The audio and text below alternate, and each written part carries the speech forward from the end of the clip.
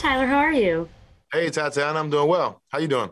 I'm doing great. I binged all of Harlem uh, Hey. last week, and I very much enjoyed it. uh, I'm glad you. I'm glad you uh, enjoyed it and you got something from it. yeah, definitely. What what did you get from it? What aspect of the script was it that made you want to jump on board and play Ian?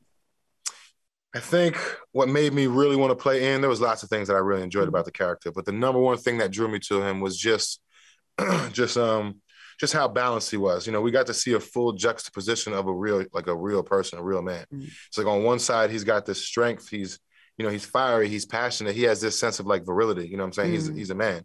Um, but on the flip side, he's you know he's vulnerable. He's he's open. He's ten- you know, there's a tenderness there. You know, he's an artist at the end of the day. Um, so to see so to see so to see this contract, uh, you know, in this spectrum of who he is, again, just it's probably just that juxtaposition that that drew me to the character. You know, I see lots of characters, and it's kind of just like you know one note or one hue. And it's like, you know, sometimes you you play a role just to play it. You know, it's always good to get your chops to get experience. But at this point in my career, you know, I want to go after things that, you know, that move me, that speak to me in a certain way. So that was probably the number one thing. I love that. Now, speaking of, you know, multifaceted parts Yeah. of a person, uh, the dynamic between Ian and Camille is so interesting. Obviously, it trips her up when she sees him again, but he Yeah. isn't unaffected either. What is Mhm. it that draws them to each other? What makes them kind of like magnets in this way? Yeah. I think I think what draws them together is um, you know, the foundation of what their relationship was built on. You know, she is this type A personality and he can he can go with the flow when she needs, you know. Mhm. And you know, within that they have this uh you know, they have this thing where they can see each other's BS and kind of call each Mhm. other out. They have this fun loving uh you know, seductive banter back and forth that they really enjoy. It kind of serves as like, you know, like foreplay for them. You know what I'm saying? And it's like, um, you know, that's that's just that. I think these things are what goes into them being soulmates. They just Mm. they just get each other. They just love being around each other. Um, unfortunately, there was some obstacles that get in the way because he's got to go find himself, and vice versa, you know, vice versa with her. Mhm.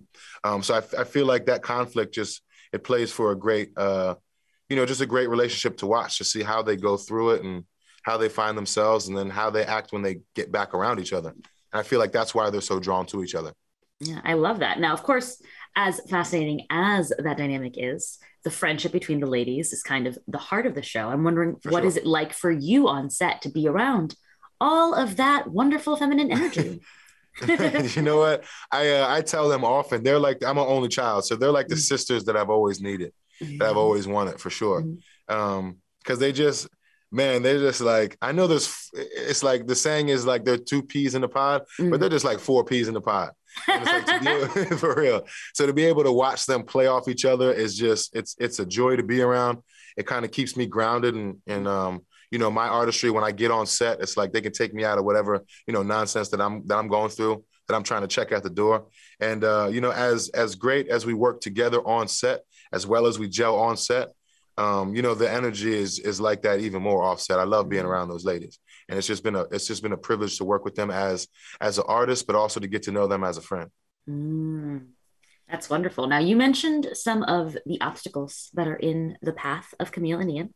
And I'm just wondering, what do you think Ian wants for himself that keeps him away from Camille at the start of the se- season? I think that he understands what it's like to not um and I'm, I'm just I'm just being real like he, he Mhm. understands what it's like to a not not find his passion he hasn't gotten there yet Mhm. and then b as a man he knows what it's like to not have money Mhm.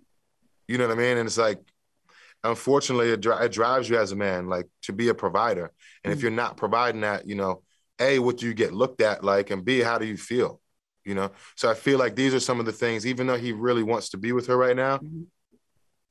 If if that's how it is then so be it because i gotta i gotta i gotta i gotta wrangle this down as a man in order to feel comfortable with who i am I love it. There's because it's very funny, obviously, but there's so many deep layers to it.